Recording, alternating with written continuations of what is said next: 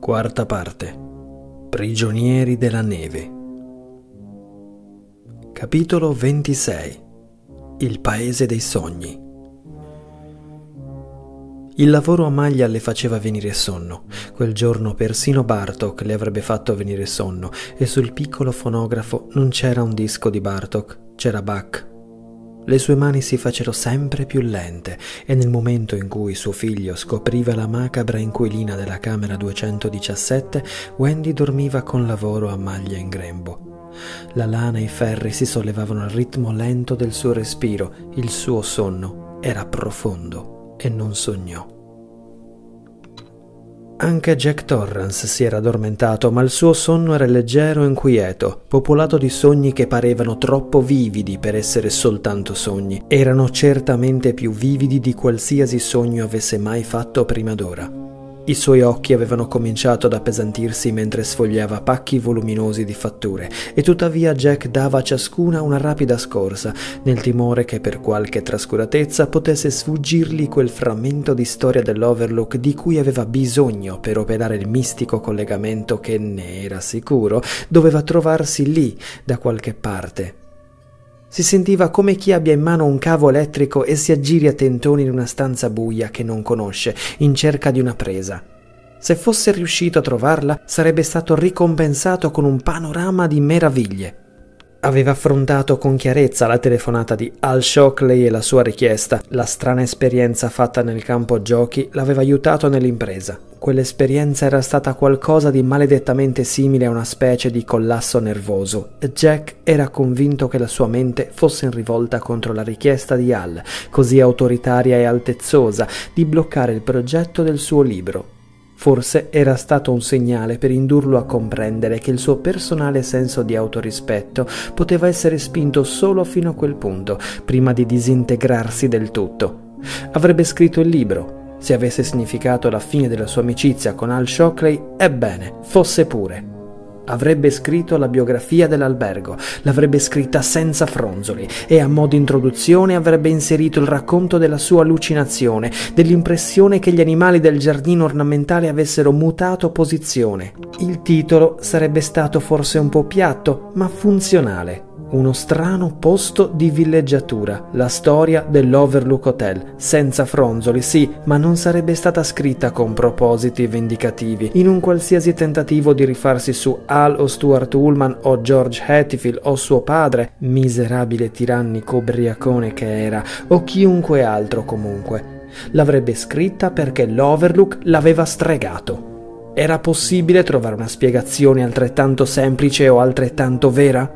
L'avrebbe scritta per la ragione che, a suo modo di vedere, stava alla base di tutte le grandi opere letterarie di fantasia o meno. La verità viene a galla e alla fine viene sempre a galla. L'avrebbe scritta perché sentiva di doverlo fare. 500 galloni di latte intero, 100 galloni di latte scremato, pagato. Bolla d'accompagnamento, 300 pinte di succo d'arancia, pagato. Jack si lasciò scivolare ancor più giù sulla sgabello, continuando a stringere in pugno un fascio di ricevute, ma i suoi occhi non erano più in grado di decifrarle, si erano come velati. Le palpebre calavano, improvvisamente appesantite. La mente gli era scivolata dall'overlook a suo padre, che faceva l'infermiere al Community Hospital di Berlin, un omone grande e grosso, un grassone alto più di 1,85. Infatti era stato più alto di Jack anche quando Jack aveva raggiunto la massima statura, che era di 1,80. Non che il vecchio fosse ancora vivo allora. Il mio cucciolino, diceva. Poi accennava a tirare a Jack un destro affettuosamente scherzoso e scoppiava a ridere. C'erano altri due fratelli, entrambi più alti del padre, e Becky, che col suo metro e 75 era di poco più bassa di Jack ed era sempre stata più alta di lui per gran parte degli anni dell'infanzia. Il rapporto di Jack con suo padre era stato qualcosa di simile allo sbocciare di un fiore di potenziale bellezza, che però, una volta sbocciato, si era rivelato affetto da una malattia misteriosa e occulta. Fino ai sette anni aveva amato senza remore quell'omone alto e panciuto, nonostante le sculacciate, i lividi e i saltuari occhi neri. Jack ricordava le vellutate sere estive, la casa silenziosa, il fratello maggiore, Brett, fuori con la ragazza, il fratello di mezzo, Mike, immerso nello studio di qualcosa. Becky e la madre in soggiorno a guardare un qualsiasi programma televisivo davanti al vecchio apparecchio scalcagnato e lui, Jack, seduto in un corridoio con indosso un pigiamino e nient'altro, che fingeva di giocare con i suoi camion, ma in realtà aspettava il momento in cui il silenzio sarebbe stato rotto dalla porta che si spalancava con fragore, dall'urlo di benvenuto di suo padre quando si fosse accorto che Jackie lo stava aspettando, dal suo gridolino felice di risposta mentre l'omone percorreva il corridoio, il cranio roseo baluginante sotto i capelli a spazzola nel riflesso della luce del vestibolo. In quella luce somigliava sempre a una specie di molle e svolazzante fantasma, un po' fuori misura, con indosso l'uniforme bianca dell'ospedale, la camicia che debordava dalla cintola spesso macchiata di sangue, il risvolto dei calzoni che si afflosciava sulle scarpe nere. Suo padre lo sollevava di peso tra le braccia e Jackie si sentiva lanciato in aria come in un delirio. E c'erano state sere che suo padre per l'ubriachezza non aveva arrestato in tempo il lancio e Jackie era schizzato in alto sopra la testa piatta del padre, per ruzzolare poi sul pavimento dell'atrio alle spalle del genitore ma altre sere suo padre si limitava a sollevarlo da terra in un'estasi di gridolini attraverso la zona d'aria dove aleggiava il sentore di birra come una nebbia di goccioline di pioggia, per essere rigirato e rivoltato e sballottolato al pari di un pupazzo ridente e infine essere posato a terra, scosso dal singhiozzo provocato dalla sua reazione. Le ricevute gli scivolarono dalla mano afflosciata e fluttuarono nell'aria, atterrando pigramente sul pavimento. Le palpebre di Jack, che erano chiuse con la figura del padre tatuata sulla parete interna a mo' di un'immagine stereotica, si socchiusero appena e poi tornarono ad abbassarsi. Fu come percorso da un brivido. La coscienza, al pari delle ricevute, fluttuò pigramente verso il basso, simile alle foglie autunnali di abete rosso.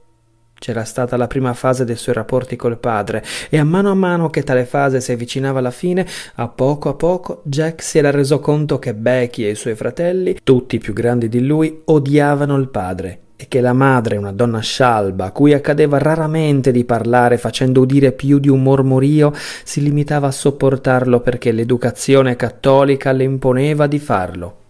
A quell'epoca non era apparso strano a Jack che il padre l'avesse sempre vinta in ogni discussione coi figli facendo ricorso ai pugni, e non gli era sembrato strano che il suo amore dovesse procedere di pari passo con la paura. Paura del gioco dell'ascensore che avrebbe potuto concludersi una di quelle sere in una caduta rovinosa, paura che il grossolano buon umore di suo padre, nel suo giorno di libertà, potesse tramutarsi di colpo in quel suo grugnito porcino e nello schiaffo della sua destra e a volte, ricordava Jack, aveva avuto una paura ancora più assurda che l'ombra di suo padre potesse cadere su di lui mentre giocava. Era stato verso la fine di questa fase che aveva cominciato a notare come Brett non portasse mai in casa le sue amichette o Mike e Becky i loro compagni. L'amore aveva cominciato a inacidirsi a nove anni, quando suo padre, a forza di bastonate, aveva spedito sua madre all'ospedale.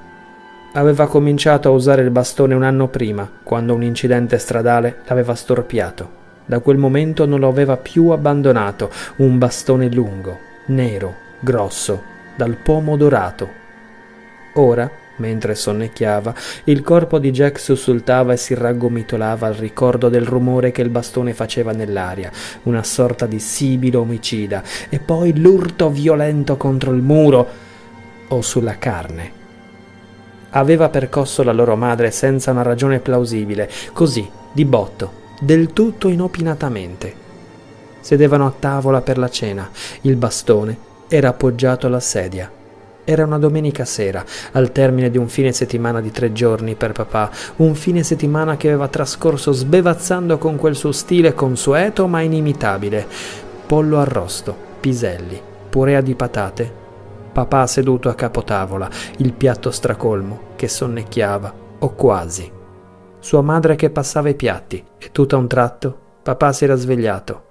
Gli occhi infossati nelle orbite grasse, scintillanti di una sorta di sciocca, maligna petulanza, li aveva spostati saettando da un membro della famiglia all'altro e la vena al centro della fronte si delineava prominente, un sintomo sempre preoccupante. Aveva calato una delle grosse mani costellate di efelidi sul pomo dorato del bastone, carezzandolo aveva detto qualcosa a proposito del caffè, o almeno fino a quel giorno Jack era certo che la parola pronunciata da suo padre fosse stata caffè. La mamma aveva aperto la bocca per rispondere e subito il bastone era sibilato nell'aria, abbattendosi sul suo viso. Dal naso le era zampillato un fiotto di sangue. Becky aveva urlato, gli occhiali della mamma erano caduti nel sugo dell'arrosto. Il bastone si era sollevato e poi era tornato ad abbattersi, questa volta in cima al capo, lacerando la cute. La mamma era caduta a terra e lui si era alzato dalla sedia e si era portato nel punto in cui la donna giaceva inebetita sul tappeto, brandendo il bastone, muovendosi con la grottesca rapidità e agilità dei grassi, gli occhietti che lanciavano lampi, la papagorgia tremolante mentre le parlava con lo stesso tono con cui si era sempre rivolto ai figli durante simili sfoghi di collera. Ora, Ora, per Dio, penso proprio che adesso prenderai la purga. Maledetto cucciolo, carognetta, avanti, prendi la purga. Il bastone si era sollevato ed era calato su di lei altre sette volte prima che Brett e Mike riuscissero a bloccarlo, a trascinarlo via, a strappargli il bastone di mano. Jack il piccolo Jackie adesso era Jack, Jack che sonnecchiava e borbottava su una seggiolina da campo coperta di ragnatele mentre alle sue spalle la caldaia del calorifero emetteva ruggiti cavernosi. Sapeva con esattezza quante erano state le bastonate perché ogni tonfo sordo contro il corpo della madre gli si era impresso nella memoria come l'irrazionabile colpo di uno scalpello nella pietra. Sette tonfi. Non uno di più, non uno di meno lui e Becky che piangevano, increduli, guardando gli occhiali della madre che giacevano nella purea di patate, una lente incrinata e sporca di sugo d'arrosto, Brett che urlava contro papà dal corridoio sul retro, dicendogli che l'avrebbe ammazzato se solo avesse osato muoversi, e papà che non si stancava di ripetere Maledetto cucciolo, ridammi il bastone, carognetta, maledetto cucciolo, dammelo! E Brett che lo brandiva con un gesto isterico, dicendo di sì, sì che te lo do, prova solo a muoverti e ti do tutto quello che vuoi e anche qualcos'altro, te ne darò un sacco. La mamma che si rialzava fatica, inebetita, il volto gonfio, tume fatto, sanguinante. E aveva detto una cosa terribile. Forse l'unica cosa che la mamma avesse mai detto è che Jackie riuscisse a ricordare parola per parola. Chi ha preso il giornale? Il vostro papà vuole guardare i fumetti. Sta ancora piovendo? E poi era crollata di nuovo in ginocchio, i capelli che le ricadevano sul volto deturpato dalle percosse. Mike che chiamava il dottore, farfugliando al telefono. Poteva venire immediatamente, si trattava della loro madre. No, non poteva dirgli cos'era successo, non al telefono, soprattutto non poteva dato che era un duplex. Che venisse e basta. Il dottore era venuto e aveva portato la mamma all'ospedale dove papà aveva lavorato per tutta la sua vita da adulto. Papà, al quale era passata la sbronza, o forse solo con la sciocca astuzia di un animale braccato, aveva dichiarato al dottore che la mamma era caduta dalle scale la tovaglia era macchiata di sangue perché lui aveva tentato di ripulirle il caro viso. E come mai i suoi occhiali avevano attraversato a volo il soggiorno e la sala da pranzo per atterrare sulla purea di patate e nel sugo d'arrosto? Aveva chiesto il dottore con una sorta di orrido, sogghignante sarcasmo. È così che è andata, Mark? Ho sentito parlare di gente che nasconde un intero apparecchio ricetrasmittente in una capsula dentaria e ho visto un tale al quale avevano sparato in mezzo agli occhi e che è vissuto abbastanza per riferirlo, ma questa è una faccenda che mi giunge del tutto nuova. Ma papà si era limitato a scuotere il capo e a dire che non ne sapeva proprio nulla. Dovevano esserle caduti dal naso quando l'aveva portata a braccia attraverso la sala da pranzo. I quattro figli erano rimasti bloccati da un silenzio attonito, sopraffatti dall'imperturbabile prodigio di quella menzogna. Quattro giorni più tardi, Brett si era licenziato dallo stabilimento e si era arruolato nell'esercito. Jack aveva sempre pensato che non fosse stato a causa delle repentine, irrazionali percosse che suo padre aveva infetto durante la cena, ma per il fatto che all'ospedale la madre aveva confermato la versione del padre mentre stringeva la mano del parroco. Nauseato, Brett li aveva abbandonati a tutto ciò che avrebbe potuto succedere. Era rimasto ucciso nella provincia di Dong Ho nel 1965, lo stesso anno in cui Jack Torrance, studente, aveva diritto alla contestazione universitaria volta a mettere fine alla guerra nel Vietnam. Aveva agitato la camicia insanguinata del fratello alle manifestazioni, che vedevano un afflusso sempre più imponente di giovani. Ma mentre parlava non era il volto di Brett che aveva dinanzi agli occhi, era il volto di sua madre. Quel volto inebetito di una persona che non connette, sua madre che diceva Chi ha preso il giornale? Mike era fuggito tre anni più tardi, quando Jack ne aveva dodici. Era andato all'università del New Hampshire grazie a una sostanziosa borsa di studio. Un anno dopo il padre era morto in seguito a un improvviso attacco cardiaco che l'aveva colpito mentre preparava un paziente in vista di un intervento chirurgico. Era crollato con indosso la sua bianca uniforme da infermiere, floscia e disordinata. Probabilmente era morto ancora prima di toccare le piastrelle rosse e nere del pavimento dell'ospedale e tre giorni più tardi l'uomo che aveva dominato la vita di Jackie, l'irrazionale dio fantasma bianco, era sottoterra. Sulla pietra tombale si leggeva Mark Anthony Torrance, padre affettuoso. Jack avrebbe aggiunto una riga. Sapeva giocare all'ascensore. Avevano incassato un sacco di soldi di assicurazione. Vi sono persone che sottoscrivono polizze con lo stesso entusiasmo con cui altri fanno raccolta di monete o di francobolli, e Mark Torrance apparteneva a quella categoria. I soldi dell'assicurazione erano arrivati nello stesso momento in cui erano cessati i pagamenti dei premi mensili e delle fatture di alcolici. Per cinque anni erano stati ricchi, quasi ricchi. Nel sonno leggero, inquieto, il suo volto gli si parò dinanzi come in uno specchio. Era e non era il suo volto, gli occhi stupefatti e la bocca della piega innocente di un bambino seduto nel corridoio con i suoi camion, in attesa del papà, in attesa del bianco dio fantasma, in attesa che l'ascensore salisse con inebriante, esilarante velocità tra le esalazioni di osteria che sapevano di salino, di segatura, nella probabile attesa che l'ascensore si fracassasse a terra, facendoli uscire dalle orecchie vecchie e molle d'orologio mentre il suo papà emetteva risate scroscianti e si tramutò nel volto di Danny, così somigliante a quello che era stato il suo. I suoi occhi erano stati di un azzurro sbiadito, mentre quelli di Danny erano grigio fumo, ma le labbra mostravano la stessa piega e la carnagione era chiara. Danny nel suo studio, con indosso le mutandine di plastica e tutte le sue carte fradice, e il vago, appena avvertibile sentore di birra che ne esalava uno spaventoso intruglio in fermentazione che si sollevava sulle ali del malto, l'alito delle osterie, lo schiocco dell'osso, la sua voce che miagolava con tono da ubriaco, Danny. Stai bene, dottore? Oddio, oddio, il tuo povero braccino, e quel volto si trasformava nel volto inebetito della mamma, gonfio e sanguinante, che si alzava, emergendo da sotto il tavolo, e la mamma diceva, da tuo padre, ripeto, un annuncio oltremodo importante da parte di tuo padre, prego, resta sintonizzato, sintonizzati immediatamente sulla frequenza dell'allegro Jack, ripeto, sintonizzati immediatamente sulla frequenza dell'ora allegra, ripeto. Una lenta dissolvenza, voci disincarnate che riecheggiavano fino a lui come attraverso un interminabile corridoio avvolto nella bruma. Cose che continuano a intralciarmi, caro Tommy. Maddox, ci sei? Ho fatto di nuovo la sonnambula, mio caro. Sono i mostri disumani che temo. Mi scusi, signor Ullman, ma questo non è il... Ufficio, con i suoi schedari. La grande scrivania di Ullman, un registro delle prenotazioni, vergine, per l'anno prossimo. Già sistemato al suo posto, non perde un colpo quell'Ullman, tutte le chiavi appese in bell'ordine ai loro ganci. Fuorché una, quale? Quale chiave? La chiave universale, la chiave universale, la chiave universale. Chi ha preso la chiave universale? Se andassimo di sopra forse vedremmo. E la grossa radiotrice trasmittente sullo scaffale. L'accese.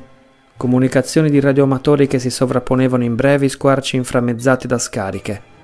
Cambiò frequenza e fece scorrere l'asticella attraverso scrosci di musica, squarci di notizie, la voce di un prete che arringava una congregazione da cui si levava un sordo lamento confuso, un bollettino meteorologico e poi un'altra voce sulla quale tornò a sintonizzarsi. Era la voce di suo padre.